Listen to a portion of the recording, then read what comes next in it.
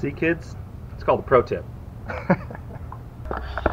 Ready when you are, sir. All right, so we're working on replacing the timing chain set here. This uh, is what connects the crank gear, cam sprocket, right, or sprocket right here, up to the cam sprocket, which is the bigger one on the top of my hand. This makes sure that the cam and the crank stay timed together and your engine runs efficiently. So you can see on there, there's dots that you need to line up.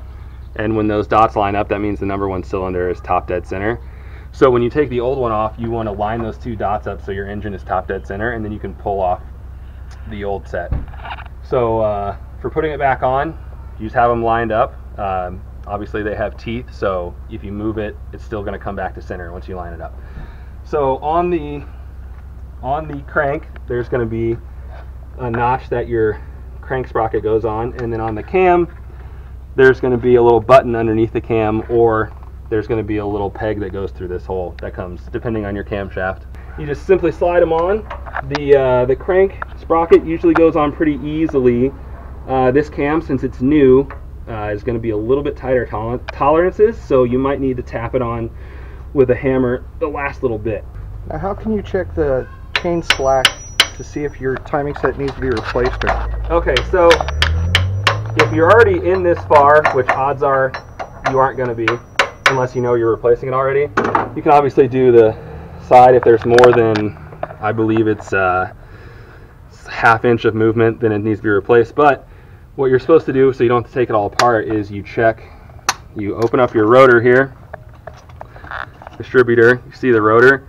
What you're going to do with all this assembled, you're going to simply put a socket on your crank bolt and you're going to spin the engine until you don't have to go very far, but it's, it's you can you can use the uh, degree on the uh, the damper. If you want to measure using that uh, the degree method, you can turn the engine until it's you know reading top dead center, where the in the indicator on the timing cover is pointed at the zero degree mark on the damper.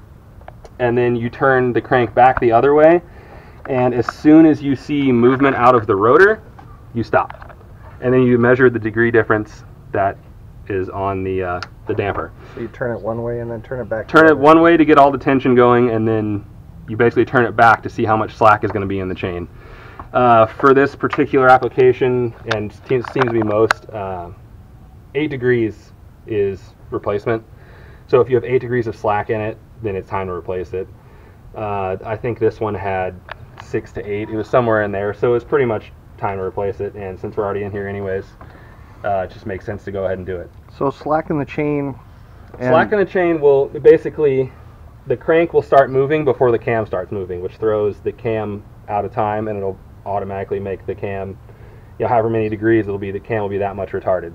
So, which is why this one, you know, it, will give you like low idle, or you know, it just won't run the way you think it's supposed to. So, a lot of people will put a new uh, timing set in and be like, oh, it really woke the truck up. Well, it's just because now the timing is back to where it's supposed to be.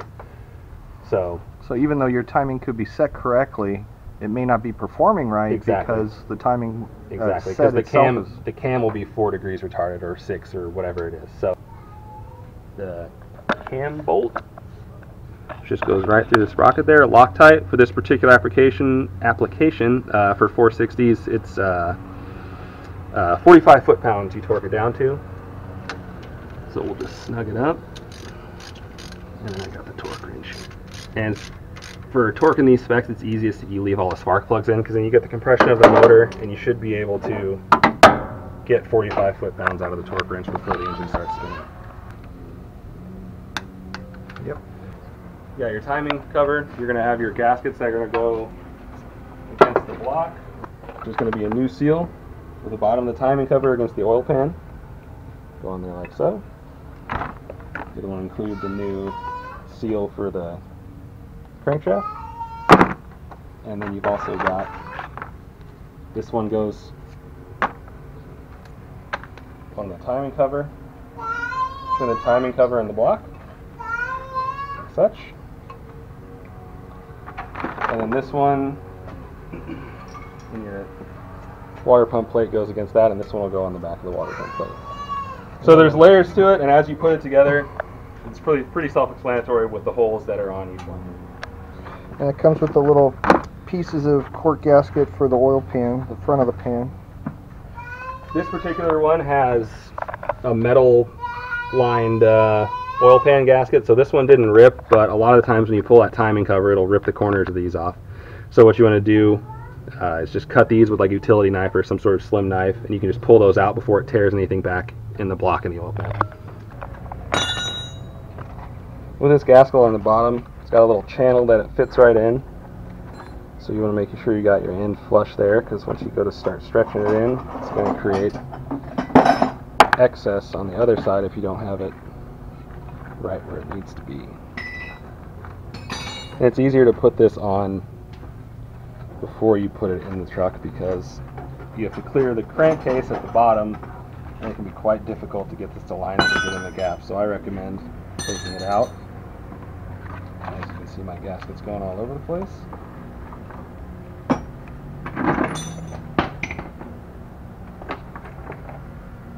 grab some bolts for the timing case because you can't do the top bolts because those also tie into the water uh, water pump. So for the timing cover, you can only do these bottom three or four bolts that do just through the timing cover.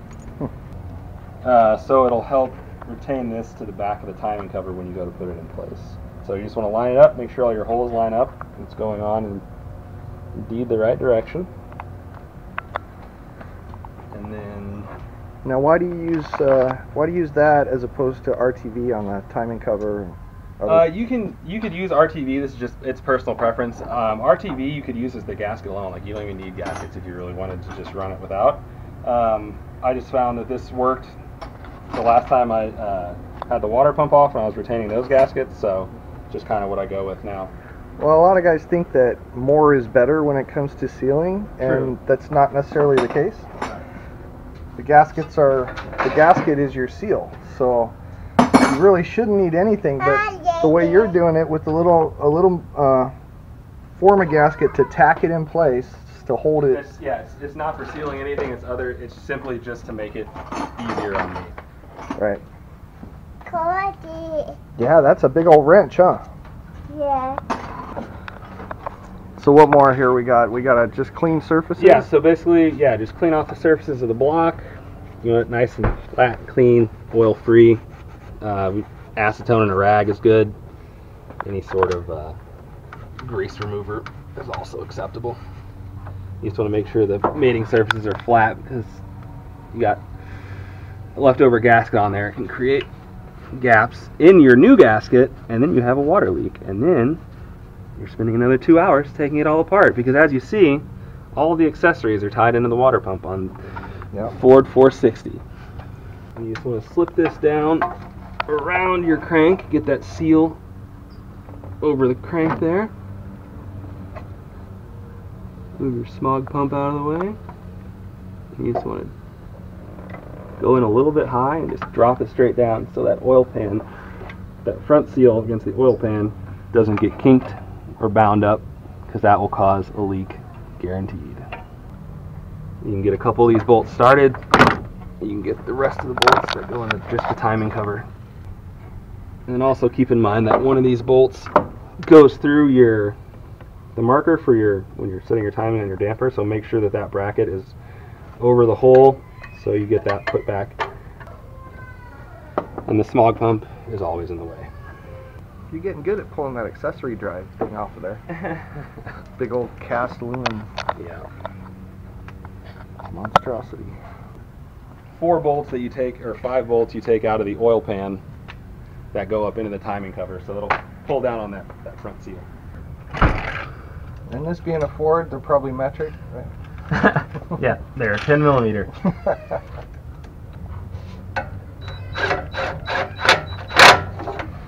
Balancer here, and this is going to slide right over your over your crank, and there's a little notch on it. As we showed before, it can only go on one way. And it slides in and make sure it gets a good seat with that seal and doesn't kink anything. And now you're ready uh, to put the water pump on. Yes, the gaskets are different because water flows This is on the water pump side, so water flows all through this area. So these areas don't need to be sealed off. But on the back side, that goes against the timing cover, water only flows through this rectangular port. So you need a gasket to completely encompass that hole so you don't get water leaking into the timing plate cover and then down Okay. everywhere, essentially. Uh, several of these bolts that you need to put some sort of sealant on because they are um, they are they go into the water jackets. Yeah, one way you can tell is shoot uh, compressed air. If if in the course of cleaning you can shoot compressed air into each bolt hole uh, around the water pump, and you'll know which ones blow out through the jacket. see, kids, it's called a pro tip.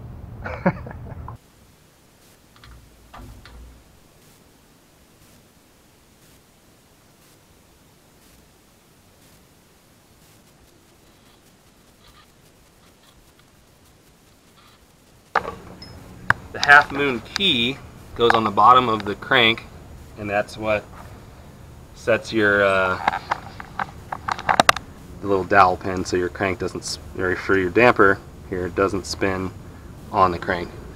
And then once you go to put your damper on, if it's giving you any trouble fighting it, you may want to make sure, come back and revisit this and make sure that it's in there. And that's better than using a hammer to tap it on or something. Yeah, because it it's got to go on exactly square. Uh, with that being said, where there's a will, there's a way. So you have access to these. You can try to not hit every bracket inside your truck, so you don't end up with bloody knuckles. And now you have a per- perfectly installed uh, damper. See, you can go ahead and install your crank bolt because this is gonna this clears, so you can do your pulley afterwards. Uh, don't use this to tighten up your your balancer like we just did with the tool.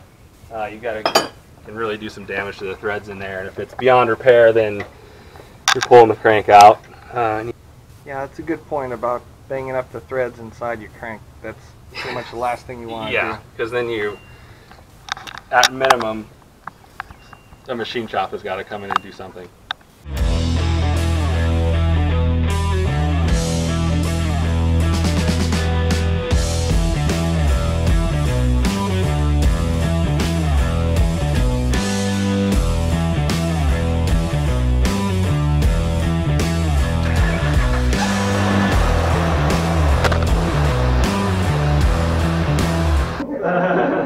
Shouldn't have had like eight beers before I did this. get fucking, it'll get fucking one mile to the gallon. That's what it'll get. hey man, I'm covering these facts right now. Hey, you think it's really good? so replacing the camshaft is a big job, and you should also replace the timing set while you're in there, which I did not do. So that's what I was going back and doing today is fixing the mistakes that I made. So long story short, truck's back together. It runs great. Now it idles perfectly. Computer controlling, computer not controlling. Uh, your my base timing is set at 12 degrees, uh, port top dead center, and it idles pers right around 800 degree, 800 uh, RPM. Uh, really good. I haven't I haven't really driven it since I've had the timing set on. Well, I've been also dealing with uh, fixing the air conditioning because we unhooked the AC condenser and we did the cam swap. So uh, basically, it's been sitting in the driveway, but it idles perfectly. I'm excited to get it on the road.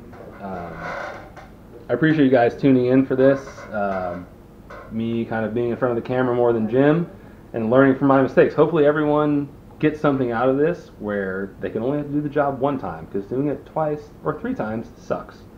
So, thanks for watching. Subscribe, like.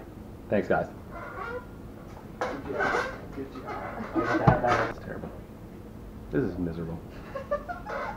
I'm not good at this. I know.